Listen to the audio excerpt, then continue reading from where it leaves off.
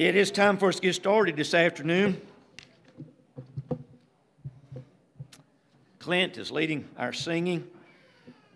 Tom Bolin has our opening prayer, and Ryan has our dismissal prayer. I don't have any additions to those that, that are sick. Uh, so if you have any questions about any of these folks, you can let me know. Some I, I may have an update on. Um, appreciate everybody that uh, helped prepare food. We had an outstanding meal.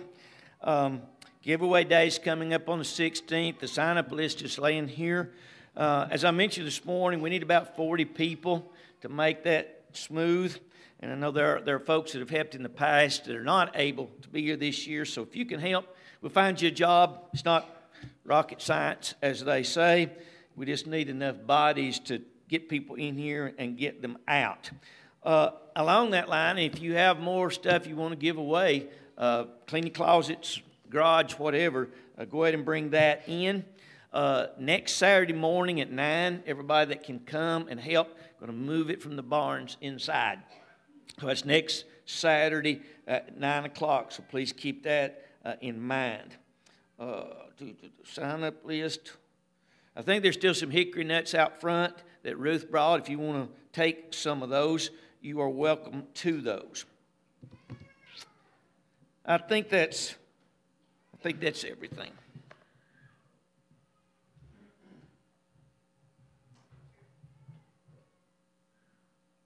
Number 638. We'll sing the first. Let me get my glasses.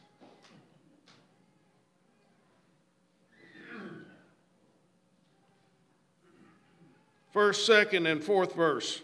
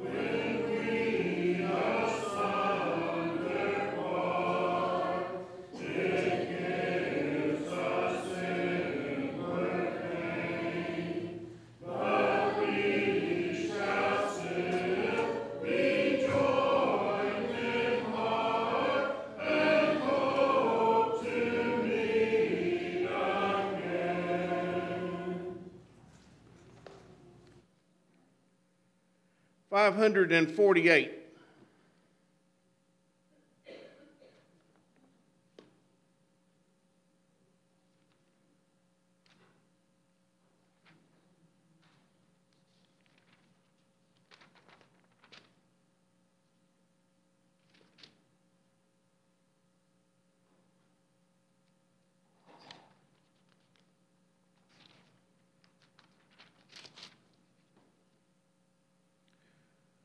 Sing the first, second, and fourth verse.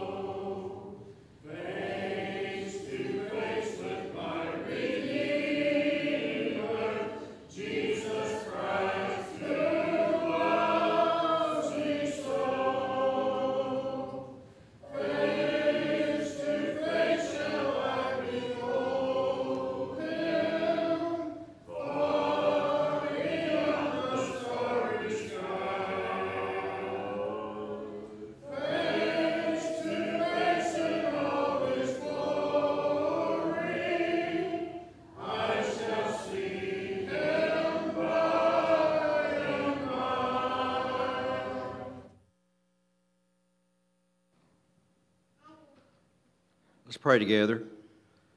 Our Father in heaven, we come to you before your uh, throne of grace and mercy this afternoon, thanking you for another opportunity to worship, thanking you for the assembly that's gathered here in your name, and thankful for uh, thanking you for uh, the blessing of of uh, comfort and and freedom to do to do so. We pray that those freedoms will be protected um, from now on. Father, we're thankful for the great meal and great fellowship that we've had today, and uh, thankful for the work that goes on here at this congregation at Dayton. We look forward to our um, upcoming giveaway day that we may reach out to this community and, and bless those that may need that may have needs uh, that we can fulfill. Uh, we're thankful for the reputation that we have as, as being a, a, a humble church that will to help anyone that's in need. And uh, we pray that you would continue to give us strength and, and, and wisdom when making decisions uh, to do certain things like this, and, and that um, uh, the word of your Son and the message of your Son will be spread throughout this community. Father, we're thankful for the, the leadership here and the ministry. Thankful for Matthew and his uh, willingness to serve, and, and for Claire and for their their service here. We're thankful for um, his uh, ability to stand before us and do a job like he has so far today, and um, in a tough uh, situation sometimes when when messages are difficult or when times are such that um, it's difficult to stand and, and say the right thing. We know that we can lean on the Word of God as, a, as the measure, and certainly did so this morning with the example of Nebuchadnezzar and, and uh, that the fact that you're in control. We pray that as this country makes a decision on, on earthly leadership, that, that, um, that your will will be served um, by the decisions that are made. And we pray that as Christians we'll keep in mind that our, the commandment for us is to let our light shine, uh, no matter who's in power, and to, uh, to spread the gospel um, to those that are lost. We pray that we will, will keep that uh, in the forefront of our, of our thoughts. Bless those who are sick and not able to be with us. Bless those who are suffering uh, with a measure of comfort. Go with us as we continue in this afternoon uh, assembly and bless us uh, here today. And It's in Jesus' name that we pray. Amen.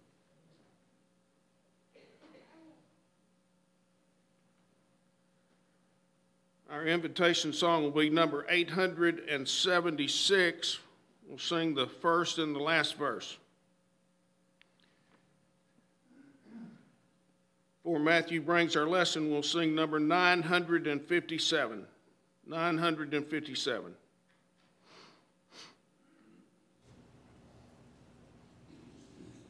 When the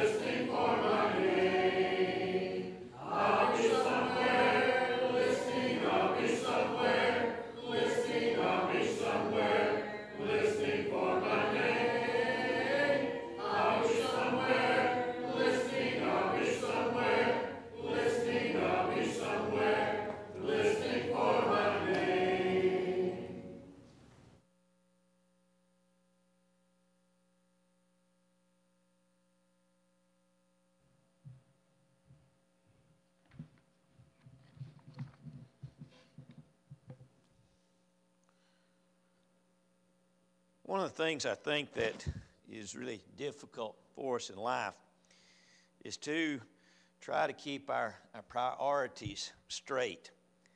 The Bible teaches that we are to uh, love God, serve people, and use money. Love God, serve people, use money.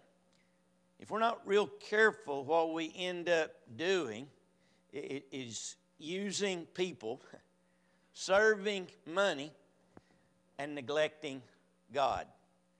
And when you think about that challenge that we have to, to love the Lord our God, thy God with all thy heart, soul, and mind, uh, Matthew 22 and 37. I think that we, we constantly need you know, reminders to, to try to help us to do that. Uh, I, have told the story a few times about uh, Tom Landry, who was a football coach for the Dallas Cowboys for many years. But in 1958, he was speaking to the boys at Baylor University. Uh, and someone had asked him about his success. And he said, uh, basically, I was not that successful until I got my priorities right. And he says it's God first, family second, and then football. Well, that may not be all that it needed to be, but I think he probably made that point.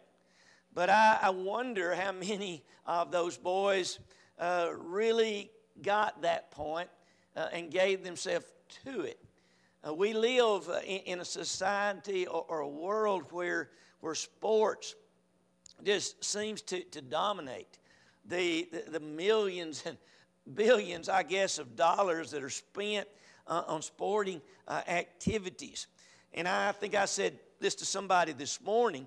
If we could get just a little bit of that excitement towards God in the church that we have uh, towards a, a football game or even to a political race.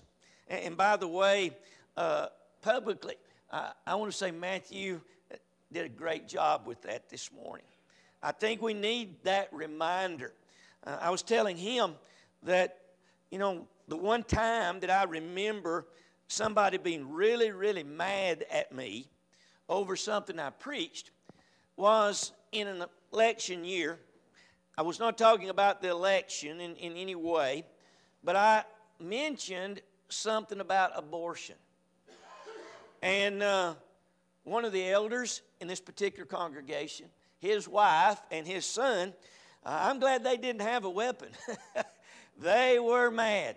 And they were mad, and they let me know it. You know, and I, I think, you know, how, how sad that is uh, it's sad that we have spiritual things being affected uh, by our uh, public leaders. Uh, and yet, uh, you know, Matthew makes an excellent point because when you, you look at the leaders throughout the scriptures, not only Nebuchadnezzar, but we notice how, how God used some of the worst of people to do the very best of things. And one thing about Nebuchadnezzar, you know, he had his priorities all wrong. Uh, he wanted to be worshiped. He, he made this 90 foot statue, and everybody, Shadrach, Meshach, and Abednego, and likely others refused to bow down and worship that. But later, God stepped in, and old Nebuchadnezzar uh, was much like an animal. He was kicked completely out, and he lived for a long time uh, eating the grass. But he finally came to himself and he was restored back. Uh, I, I've often wondered, you know, how sincere was he? Will he be in heaven? We know that he made a change. He made a change uh, in uh, his attitude towards God. Uh, I don't know all that went along with that. I'm glad that God is the judge. But somebody as wicked that they even wanted to be worshiped. A lot of the Roman emperors, a few hundred years later than Nebuchadnezzar's time, they also uh, wanted uh, to be worshiped uh, and uh, had a, a, a, law or a rule that they lived by, and they just got rid of you. uh, if you did not do exactly what they wanted you to do. Well, all of that, I think, ties together with the importance uh, of our priorities. Uh, in Matthew 6.33, Jesus said, Seek ye first the kingdom of God and his righteousness. Uh, and all these things shall be added unto you. And if you back up there in Matthew 6, Jesus uh, was talking about worry uh, and anxiety and pointed out that you can't, uh, worrying doesn't help that at all. Uh, we know that, but we still worry sometimes, don't we? But he was talking about the basics of life uh, food, clothing, and shelter. And he concludes with that thought there uh, in verse 33 and even in verse 34, he continues that idea. You know, um, God's going to take care of us. He's going to take care of us. But we have to, to recognize and understand that God expects us to put Him first. We, we have a promise, and that promise, now, He's not saying we'll have what we want. He's not saying that you'll have steak or seafood or whatever you like the most. Uh, but we'll have what we need. Uh, and you remember, it, it, wasn't it David that said, I, have never seen God's people, uh, you know, not, not have? Uh, and we need to trust Him in that. And uh, even in, in an election year, uh, we need to accept God's promises. Uh, we need to try to the best of our ability to continue to put God first, and God will take care of those other things. And in the whole scheme of things, um, a lot of things that we are so worried about uh, will never happen anyway. Uh, and God is going to make sure that we have those things that, that are essential. In Matthew 19, in verse 16, you have the story of, of the rich young ruler. And, and you remember this is the young man that came to Jesus asking, You know, what must I do to have eternal life? And Jesus, knowing his heart, knowing his life, knew that he was very wealthy. And Jesus told him to go and, uh, and sell what he had and give it to the poor and then come follow him. Now, Jesus didn't tell everybody that, for there is no real sin in riches or wealth. The sin comes when it becomes too important to us. And that seems to have been the case here. It says that the young man uh, went away sorrowfully. Uh, I would like to think that he was a little bit like Naaman. You remember in 2 Kings 5, I guess it is, where Naaman was told to go and dip in the Jordan River seven times. And, and he basically said that water's dirty and it's nasty and it's muddy. There's a lot better waters. And why didn't the prophet do some great thing? But a servant pointed out to him that if it had been some great thing, he would have done it. Well, Naaman did exactly what the prophet had commanded, and his leprosy was cleansed. Uh, I'd like to think that this rich young ruler may, maybe did that as well. Uh, maybe he went home, maybe he talked to family, uh, and they pointed out to him that, you know, the, these riches were in no comparison in any way to being compared to being a faithful servant uh, of God. You remember that, that Jesus you know, talked about this uh, when he says, you know, what, am, what is a man profited if you gain the whole world and lose his own soul? Or what will a man give in exchange for his soul? So we become, I think, so preoccupied with, with the flesh uh, and with the, our, our wants uh, far beyond our, our, needs that we, we struggle to, to really uh, appreciate uh, the importance of the spirit and the soul. You see, the body only has value within the context of the spirit. Our spirit, our soul, that is what gives importance or value to this body. We use our bodies to develop the spirit uh, and the soul. The spirit of the soul will, live on throughout eternity as we use that expression. Uh, this old body, uh, it came from the dust and it'll go back to the dust. Uh, Ecclesiastes chapter 12. So we have to be, I think, reminded of uh, those things, and quite often uh, we need to be uh, reminded. In Matthew chapter 24, Jesus is, as, is answering a couple of questions, and uh, uh, he addresses both of those questions. Uh, early in the chapter, he's talking about the destruction of Jerusalem. And the latter part of the chapter, uh, the, the final judgment and, and the destruction uh, of the world, as, as Peter said, all things will be burned up.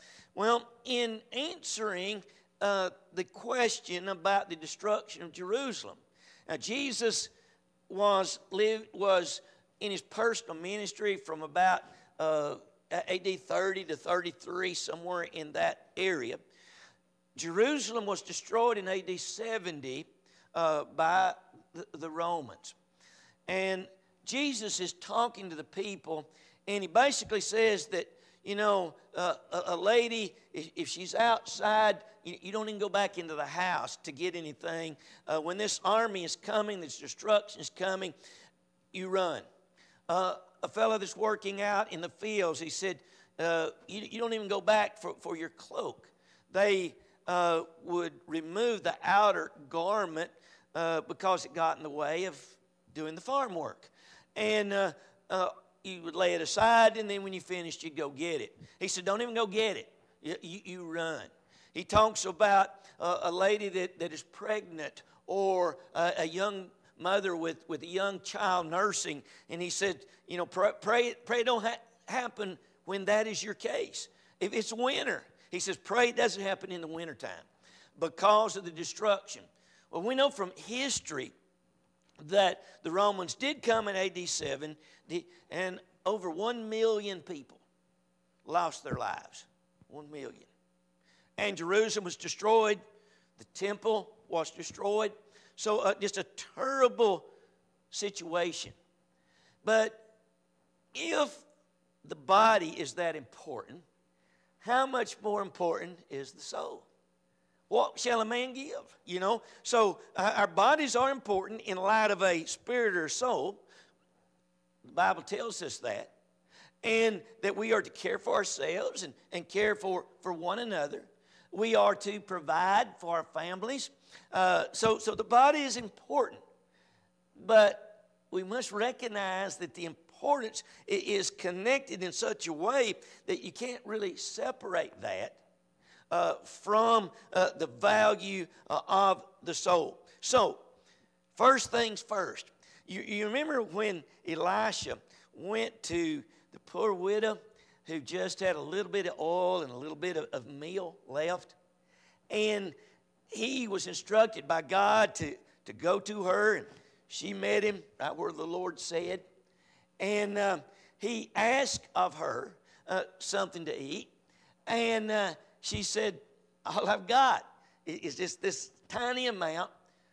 I was collecting sticks to build a fire, and I'm going to make a small cake, and my son and I are going to eat this, and then we're going to die.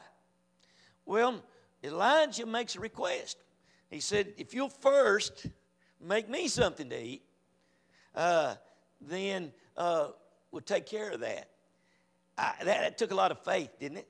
A lot of trust to do that, you know, to, to think, you know, this is all I got. And not, not just her, but her son as well. Well, she did that.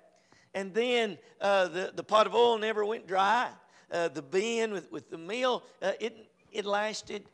God took care of her. But she was to first do those things. As we mentioned in Matthew 6:33, seek ye first the kingdom of God. Well, the kingdom, of course, is the church. Uh, in Matthew 16, 18, and 19, uh, Jesus talks about, you know, building his church and giving the keys of the kingdom to the apostles. So we know that the kingdom and the church uh, are designations of, of the very same thing. So Jesus says, you know, put it first, even in the context, even above what we eat, what we drink, what we wear, what kind of house uh, we live in. Uh, and that is something that, that is so vitally challenging. But throughout the scriptures, uh, when, you, when you look at, at the Apostle Paul uh, in, in Philippians chapter 3 and verse 13, he said, I do not count myself to be to have apprehended or to accomplished or to arrived, but one thing I do, forgetting those things that are behind, reaching forward to those things that are ahead, I press on toward the goal for the prize of the uh, high calling of God in Christ Jesus. So Paul was basically saying, here is my priority. Here is what has to come first. In Philippians chapter 1, he said, For me to live is Christ, and to die is gain. And it's interesting that Paul, uh, in that particular letter, noted that for him, he felt that it was better for him to die and go on to his reward. But for the Philippians, he said, It's more important that I stay.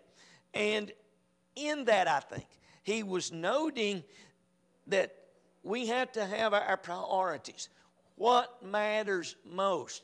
Uh, and loving God and serving people has to be up there. In fact, we remember in Matthew 25, beginning of verse 31, when Jesus talked about loving and serving God, he made it very plain that we do that through loving and serving one another. So it is our, our service. Uh, it, it's a giveaway day. Uh, it's a, a, special contribution for flood victims or hurricane uh, victims. Uh, it, it's helping somebody out who have lost their possessions uh, in a fire. It, it's going by, you know, the funeral home or the cemetery when a loved one has died and, and, and giving comfort, uh, maybe financially, but maybe not at all. To put others before ourselves, it just seems to almost go, go against our um, very uh, being. Uh, who am I concerned most about? Many times that, that, that's me. And all that we see in, in these passages is that we have to overcome that. Uh, uh, Eric, I guess it was yesterday, Eric Owens, he talked about a, a family that was pleasing to God. And he made it very plain that, that a husband uh, is to be the head of the house. But what does that mean? That means that he puts everybody else before himself. He, he, he puts his wife before himself, he puts his kids before himself. He has a responsibility to guide, direct, provide for uh, that family. And, and, and, and that, that's this idea uh, of putting first things first. In Revelation chapter 2, the writer there talks about these seven churches of Asia, and he starts out with the church at Ephesus. And in each of these cases, with an exception or so, he, he talks about what was good in those churches. And uh, he praises the folks at Ephesus. But then he goes on to say, But you have left your first love. There was something that was first, there was something that was a priority. It seems as if they were still doing a lot of good things, but maybe not doing them because they loved God, or maybe just not giving God the credit or not recognizing the, the, the sovereignty, the, the, the, power, the greatness, the glory uh, of God. But it was that love that had to come first. Uh, in Acts chapter 16, where the Apostle Paul was, was preaching in Philippi, uh, and you remember the, the story of the Philippian jailer. Uh, Paul was arrested. He and Silas were beaten without reason or cause. They were put into the prison, locked down with, with chains and shackles. There was an earthquake at, at midnight, and the jailer thought all the uh, prisoners had escaped because the doors of the prison were open. He was going to take his own life, but Paul stopped him. And it's interesting that he evidently had heard enough or seen enough to, knew, to know the spirituality of Paul and Silas because he wanted to know what he needed to do to be saved. Uh, and Paul told him, uh, if you believe, you and your house, you can all be saved. Now, some have taken that and tried to use that to show that, that all you have to do is believe. The truth of the matter, as Paul goes on to teach him what he needs to believe, we find that he was baptized into Christ. But Paul gave that answer, no doubt, because belief has to come first. Baptism, repentance, worship. None of those things are going to come into the picture until I come to believe that Jesus is the Christ, the Son of God. So there, there's a priority. Uh, and it has to be that kind of a priority. Uh, I hope that, that not only do we recognize that and understand that, but that all of us will be active in trying to, to help others to understand that uh, as well. As we mentioned uh, in our announcements, uh, we on Wednesday nights are going to, to have two new classes. And the thinking behind that is that uh, we need to impress upon one another the importance of studying God's Word. It's, it's got to be up there. Uh, in showing our love and, and our respect and our honor for God cannot be separated uh, from our love and respect uh, of God's Word. So I hope that, that not only will each of us make a greater resolve to be here for every service, but we'll use this opportunity on Wednesday nights to encourage folks that are only here on Sunday mornings. And we have a lot of those folks, and maybe that has been your history as well. God loves us, that is seen, you know, from the beginning of, Genesis 1 in the creation to Revelation 22. And we need to respond to that love. We need to respond to, to all the blessings that, that God has offered to us. You uh, may remember me using the illustration about Benjamin Franklin. When he was just a, a young boy, a man was visiting in their home, and before he left, he gave Benjamin a few coins that he had in his pocket. And later, Benjamin met up with a, a boy that had a whistle. And he wanted that whistle, so he gave the money to the boy for the whistle. And he blew it and blew it and blew it. And he, and he was so happy with it until somebody pointed out that he'd paid way too much for his whistle. He could have had a whole pocket full of whistles for that change. Well, he no longer enjoyed that whistle. And later in life, as an adult, he never forgot that lesson. And when he would meet up with somebody that would sacrifice their morals for political gain, when someone was serving themselves as a government official rather than serving the people, he was known many times to say, he's paying too much for his whistle. You know, life is important. Uh, recreation is important. Uh, ball games and other things, they have a, place, and they can be a, a very good thing if kept in their place. Our homes, we need a roof over our heads, but we have to realize that, you know, we can't put all that we are into those things. Matthew 6 19 Jesus said, Lay not up for yourselves treasures upon earth. He says, uh, Bugs will eat it, it'll rust, somebody can break through and steal it. Lay up for yourselves treasures in heaven. So, whatever you and I have that moths might eat, whatever you and I have that might rust, most of our cars and those types of things, or something that a thief could steal. When you look at that category, how important are those things to me? How important are those things? Laying up treasures in heaven is done by service to our fellow man. Uh, a meal, a cup of water, clothing, shelter, and on and on we could go. So we need to make sure that we are keeping our priorities straight.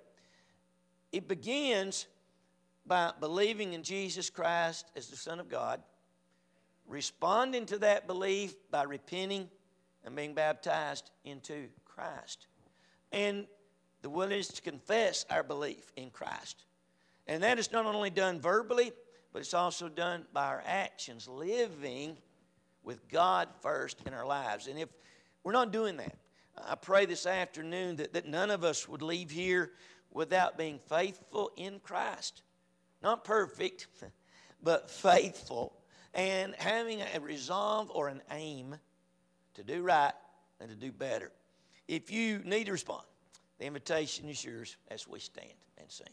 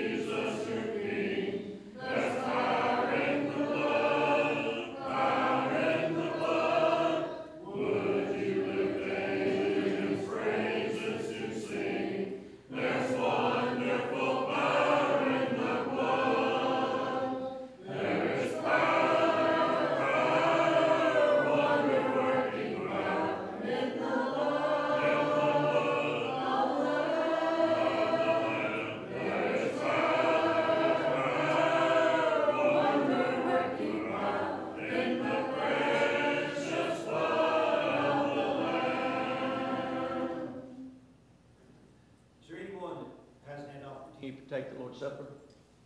Anybody else? Yeah, just sit down, please. Give some. Number 300. 300 will sing the first and the third verse.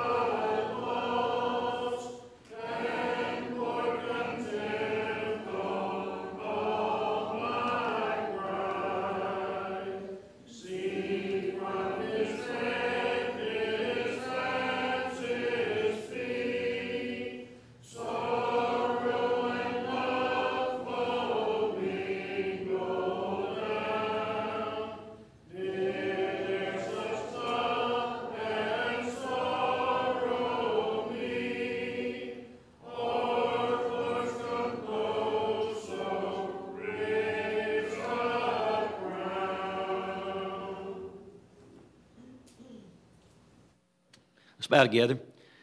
Our Father, we are again thankful for another Lord's Day, the first day of the week when we can assemble together. And as Regina partakes of the Lord's Supper, we pray, Father, that you will uh, bless her to look back to the cross, to consider the sacrifice of the, the bread representing the body of Christ, and realize that that was done for her as it was done for each and every one of us. In Christ's name we pray. Amen.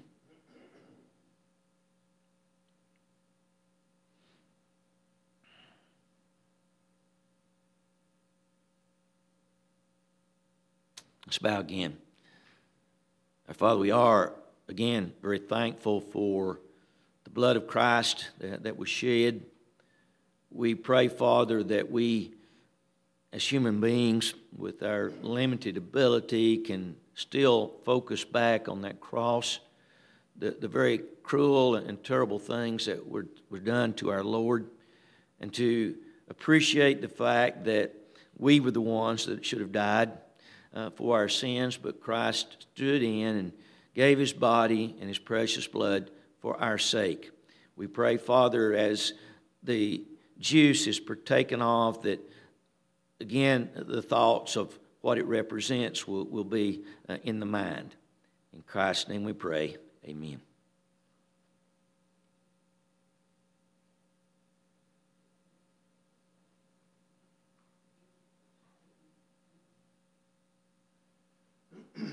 Before our closing prayer, we'll sing number 730.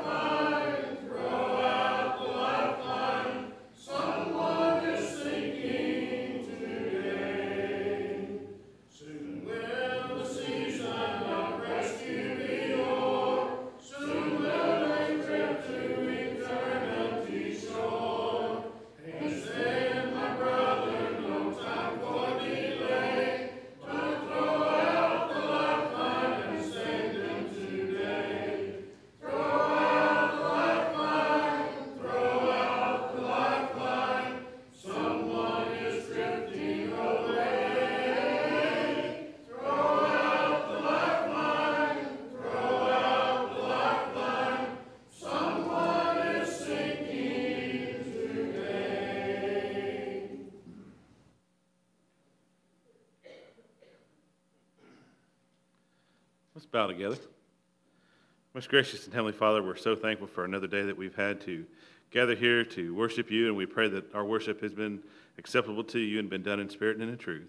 Father, we're so thankful for the lessons that we've heard today, and we pray that you will help us to keep them in mind as we go throughout the rest of this week, that we will apply them to our lives, that we will make sure our priorities are straight, and that we will make sure that we are always trying to serve you first, regardless of the outcomes of the election that we're facing. Father, we pray that you will forgive us of our sins, and we're very thankful for the gift of your Son, the sacrifice that he made for us. And it's through his name that we pray. Amen.